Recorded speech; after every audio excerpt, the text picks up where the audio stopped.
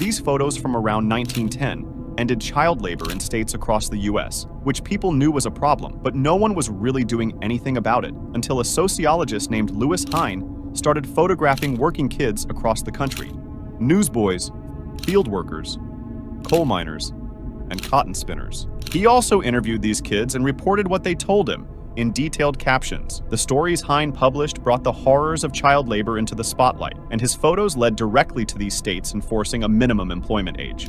Hine's photos turned the issue of child labor from something people had heard about to something they couldn't ignore. Your contribution on Patreon enables us to continue researching and producing in depth documentaries on important historical events.